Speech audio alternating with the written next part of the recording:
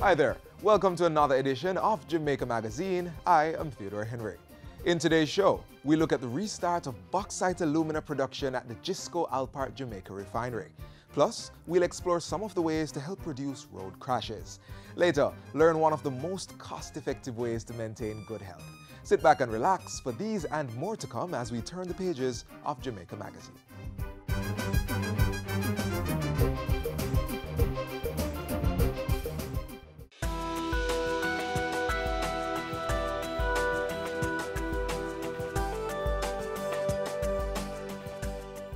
The Ministry of Education, Youth and Information is committed to ensuring that every Jamaican child has the best learning environment to thrive and needs your cooperation to make the education system work successfully. That is why we are ensuring that all Jamaicans have full access to secondary education. Tuition is free of cost to you, but the government can't pay for everything, so do continue with your voluntary contributions. These contributions cover the expenses of co-curricular and sports activities and school development projects. We have also increased our support for PATH students. That's right, PATH students are not expected to make contributions and they will be provided with five days of free lunches. We know that a hungry child cannot learn. The ministry has implemented a literature book rental program, free insurance and IDs for PATH students in high schools. This government cares for you. We believe that every child can learn. Every child must learn. Residents of Nain St. Elizabeth and bauxite refinery workers are happy for the renewed economic life that the restart of the bauxite and alumina production has brought back to their community.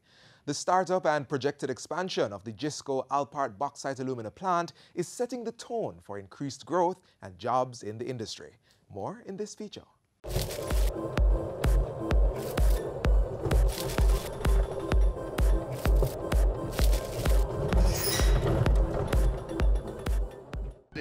Revival time. It is a revival of the mining industry. On June 21, 2017, Alpart Alumina Bauxite Plant in Nain, St. Elizabeth reopened and resumed alumina production six months ahead of schedule.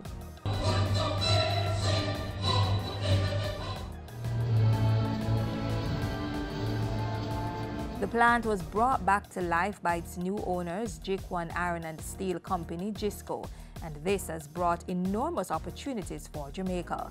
Already local communities in and around Nain, which saw a downturn in business and livelihood since the plant's closure in 2009, are now witnessing new life and increasing economic buzz. Production at the plant was halted in the aftermath of the global recession and a drop in metal prices. To see the plant reopen today and to hear the engines, the broilers, the steam room, to hear the hum of the plant is like music to our ears.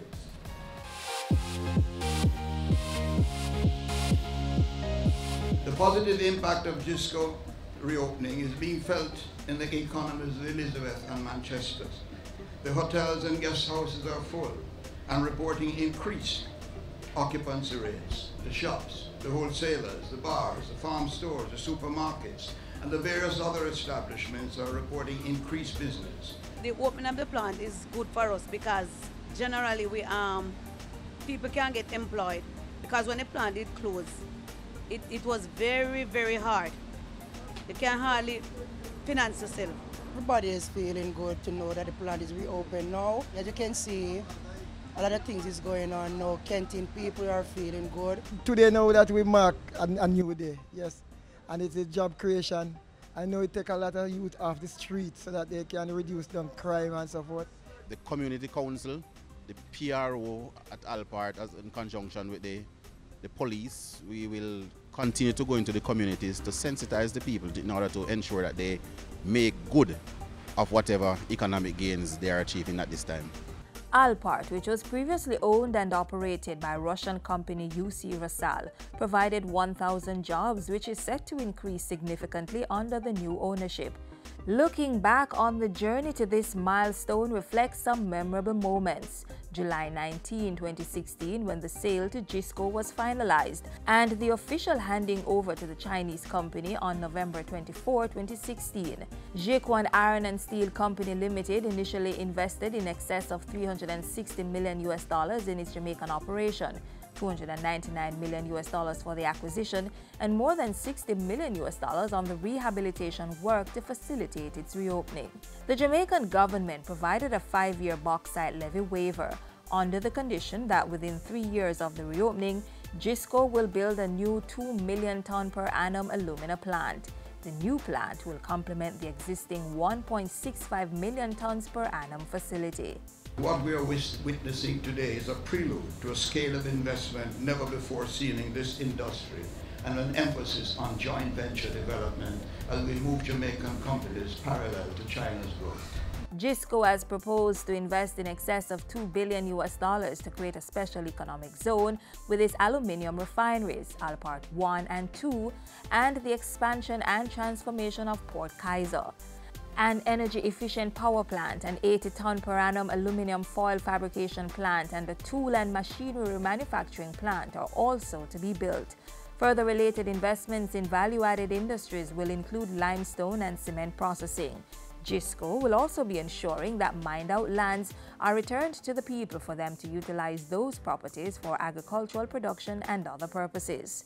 It is the intention of the government to ensure that all these investments that require high technology and high human resource capabilities that they can be found right here in Jamaica.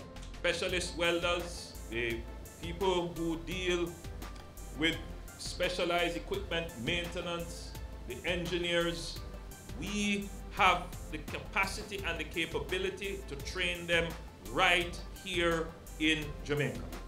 With the new streams of business, it is also expected that foreign exchange earnings from the mining sector will increase significantly over the 540 million US dollars earned in 2016.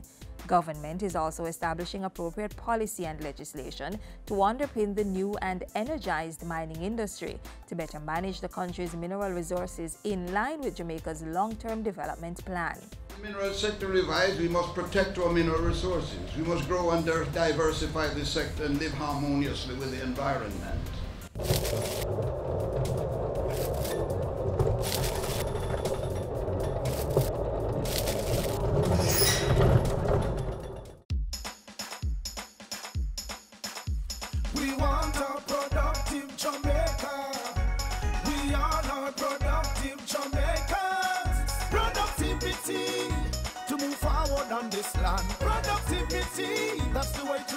Should understand. Productivity is the way to go for all us Jamaicans. Small business, big business, old and young. We are tell every woman and man.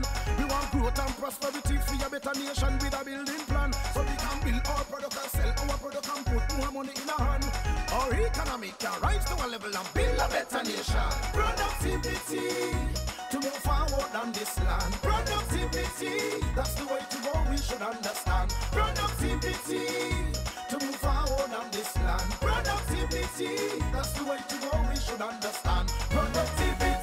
Productivity, pathway to prosperity.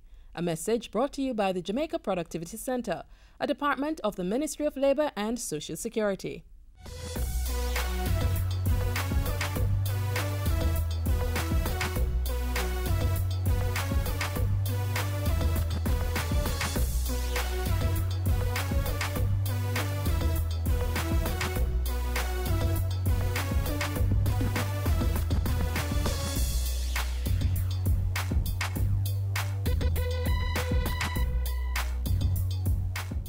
The government remains steadfast on the goal of reducing road fatalities and injuries through stringent legislation and enforcement, public education, and road safety features. Watch now as we learn more on the prospects for increased road safety in this next feature.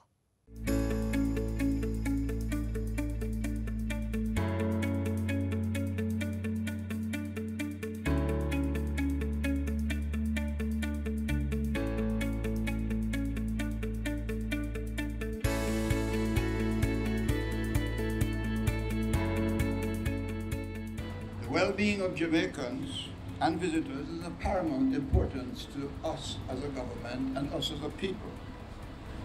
Therefore, our aim is to make it safe and enjoyable as you travel. Road safety must become a daily part of our, day, of our lives. We must be responsible for our safety on the roads. Let's walk, ride, and drive with care, as the life we save may be our own. The JJRA feels confident that our program this year will impact drivers, motorcyclists, pedestrians, and students, making them more aware of the importance of proper road safety practices. We have to start at a tender age to regroup and educate the nation. We also undertake projects such as repainting of pedestrian crossing, facilitating blood drives and conducting driving seminars. This year we'll be adding to our project a riding seminar as motorcyclists need to be more aware of the safe practices. Government takes seriously our responsibility to create safer roads for all our people, particularly our children and other vulnerable road users. That is why we have vigorously pursued the passage of the amended Road Traffic Act, which covers areas such as the establishment of the Island Traffic Authority and its functions, the road code, classification of vehicles, revocation of certificate of fitness, application grant and refusal of learner's permit or driver's license, and of course, offenses relating to the licensing of a driver. All of which we believe are critical areas that must be targeted to reduce road fatalities. There is a black box in every vehicle. When you hear a plane crash, you hear we're looking for the black box. I only learned through this that every car that has an airbag has a black box. The black box can tell us what you were doing before and what you were doing at the point of impact. And I put in place uh, um, an issue for the holiday program workers with the Denbigh High School that we're going to begin to train the children at the school on the, at the fifth level form level in how to analyze a black box in a car. Research conducted revealed that in 2014, it cost 8 billion Jamaican dollars to treat road, road crash victims at the various hospitals across the island. And indirectly affected productivity to the tune of $3 billion. Now, ladies and gentlemen, if we are truly to become a prosperous nation, every individual must play his or her part in curtailing the number of crashes and the deaths and injuries that result from them. All of us, all of us must continue to do everything in our power to ensure that we keep our figures under 300 and know that is the benchmark. But we need to see if we can even lower that benchmark this year to somewhere between 250 to 275. So I therefore urge motorists to desist from speeding, wear seatbelts, practice defensive driving, avoid using cell phones while driving. So again, I encourage pedestrians to use the road with caution.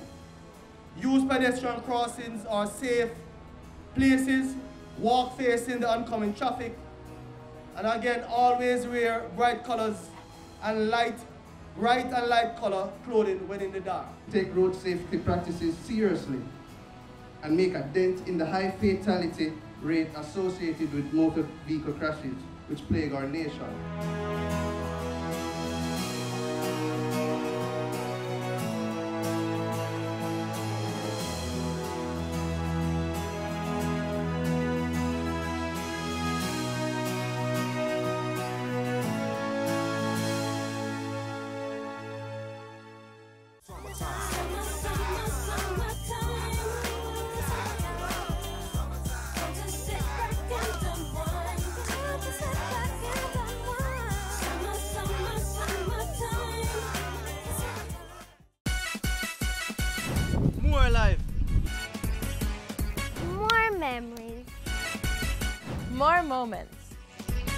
Jamaica Moves is a call to action to prevent non-communicable diseases.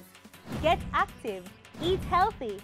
You can protect yourself from high blood pressure, obesity, asthma, certain cancer diseases, and more. Non-communicable diseases such as cancers, diabetes, heart disease, and hypertension remain the major causes of deaths among Jamaicans.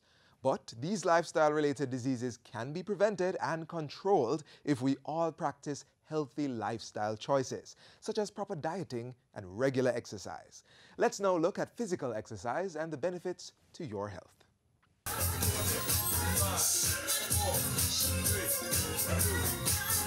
It keeps you young, make you look good in your clothes, make you attractive to opposite sex. It's only a matter of fitness and health.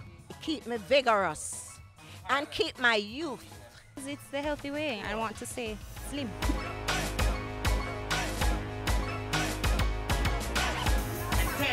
It is true that many of us know that exercise is good for us, but we avoid it. Why? Because we are afraid that exercise has to be vigorous before it can be effective.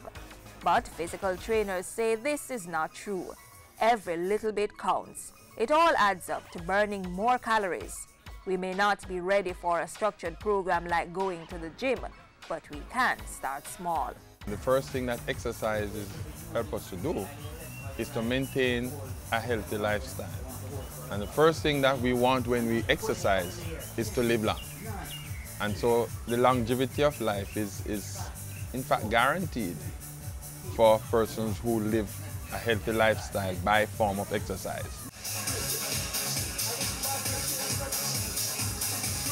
Medical experts say if we are not engaging in enough physical activities, we are at major risk for developing coronary artery disease.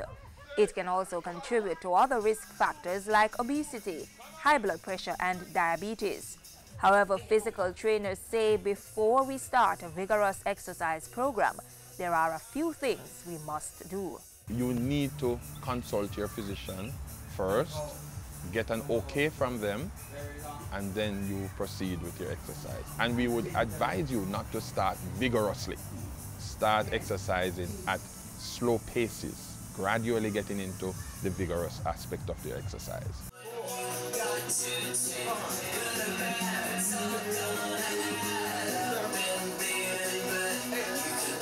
According to physical trainers, we must do any moderate to vigorous aerobic activity for a minimum of 30 minutes at least three to four times per week.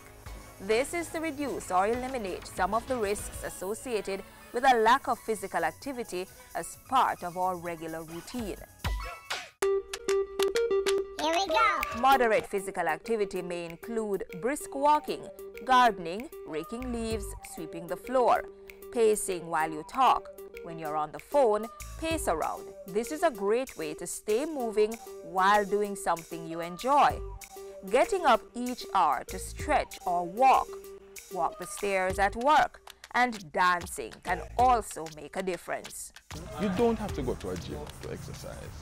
And exercise is um, usually a routine that you consistently do, whether it's at home or at school, that you benefit from, the heart and the lungs and the other aspects of your body benefit from.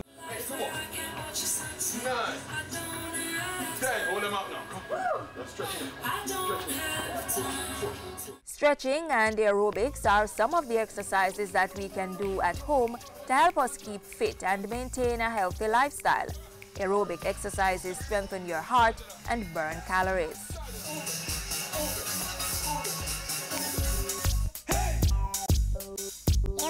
According to physical trainers, stretching exercises are essential for keeping our muscles flexible and our joints strong. You can stretch the body every day. Hold it there. Five. Relax the hand. Four. Three. Two more. Two. One. We can all do exercise, I would probably only limit to the persons who are paralyzed from probably waist down. But even the persons who are paralyzed from waist down, their, their arms are able to, to, to do something. So you can do something with the hands. Physical trainers say if you experience any of the following symptoms during exercise, you must stop and rest. Dizziness or lightheadedness, abnormal heart rhythm, pain in the chest, under the breastbone, and or down the arm, pain in the knees, feet, or ankles. After, stop and rest. If the symptoms persist, you must call your doctor. I feel stronger, flexible. I feel so refreshed and like I can take on the day. And I think it has helped to, to make me look youthful. So exercise is great. It firms up your muscles and um, it gives you more energy.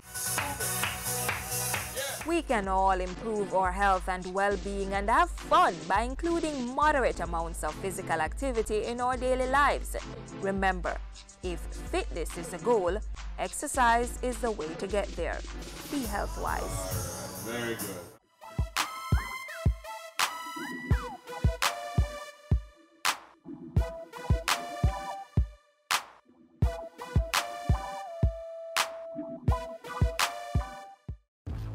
Anonymously report allegations of corruption, bribery, fraud, or acts of malfeasance.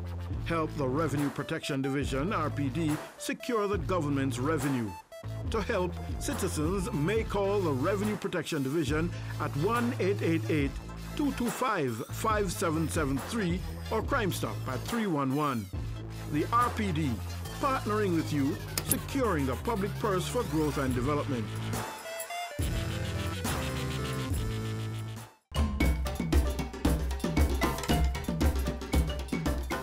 On the board this week, the Ensom City Gospel Chapel will be having its Festival of Praise on Saturday, August 26.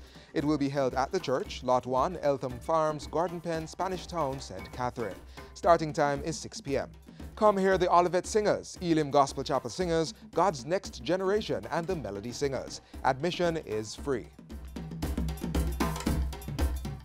The Electoral Office of Jamaica, EOJ, wishes to advise the public that elector registration identification cards for electors added to the May 31, 2017 voters list are now available. ID cards must be collected by electors at their respective EOJ constituency office. All current elector registration cards are valid until December 31, 2017. The ECJ will commence a house-to-house -house enumeration exercise this financial year to create a new voters list and new cards. And that's all for our community notices today. Send us your events for broadcast on the JIS Community Notice Board. Call 922-868-022 or send an email to cbishop at jis.gov.jm.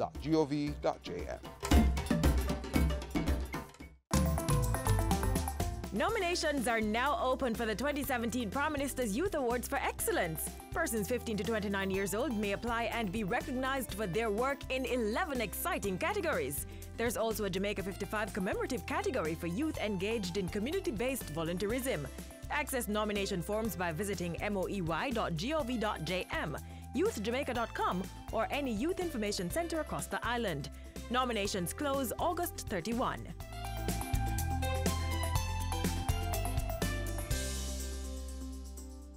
And now for some of the stories in our news this week. Hi there, I'm Simone Wolf with your JIS News of the Week. The Ministry of Education is reporting improved pass rates for 18 of 34 subjects in this year's Caribbean Secondary Education Certificate CSEC examinations. Five subjects had average pass rates of over 90%. These include Agricultural Sciences Double Award, 96.8%, Agricultural Science Single Award, 91.3%, Principles of Business, that we've been doing quite well in as a country. Hope we can translate that in actual business on the ground, 91.4%. Physical education, wow, that's very good. We're good at sports as well, 96.2% and food and nutrition, 92%. So these are uh, very positive achievements. Meanwhile, there was a 3% improvement in the overall performance of CAPE students.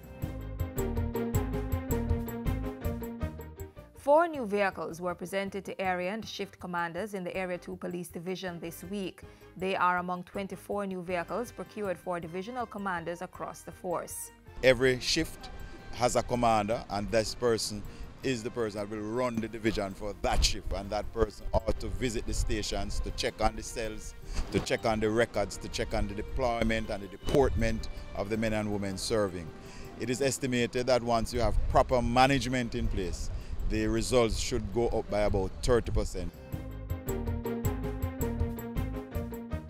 Meanwhile, the Security Ministry has partnered with its agriculture counterpart to boost crop production at correctional institutions, starting with 300 acres at the Richmond Farm Adult Correctional Center in St. Mary. Together, you're going to see better use because we will gain technical expertise from them. We will gain the use of equipment. Um, some of the programs that they're going to be rolling out in the near future, they know that they have acreage here available to carry out those programs and the labor. So you're going to see a lot of positive things coming from this collaboration. The Ministry of Health is carrying out training of medical practitioners to be certified prescribers of medical marijuana. 80 persons were trained in two workshops held in July, while another batch is to receive training in October. The design for government's proposed communications network GovNet has been completed. GovNet will be a secure wide area network communication infrastructure that will connect government ministries, agencies and departments to facilitate shared services. We are at a point where we are ready and in fact will start the rollout of GovNet. Uh, it's indeed a significant footprint now as relates to building out a, a truly digital society and a digital government. Residents of Mountainside and Park Lee in southwest St. Elizabeth now have electricity in their homes courtesy of a project by National Energy Solutions Limited. Energy efficiency and conservation is key. So it is not free light. It comes with responsibility. And just as much as your, your house is wired and you get electricity, if you don't pay a bill, JPS won't come and cut it off.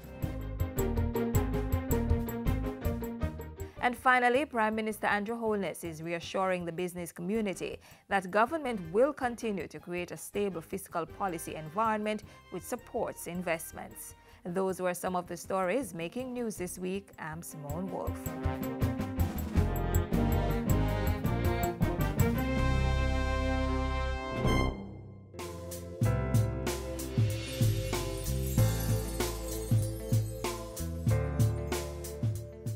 And that brings us to the end of today's edition of Jamaica Magazine. Join us again tomorrow when we'll do this all over again. Until then, you can click online at jis.gov.jm and visit our YouTube channel to get the latest government information. Also, follow us on Twitter and Facebook and download our app from the Google Play Store to stay informed on the go. I'm Theodore Henry, wishing you peace and prosperity. Take care of your health, exercise, eat well, get adequate rest, and make every day a productive one.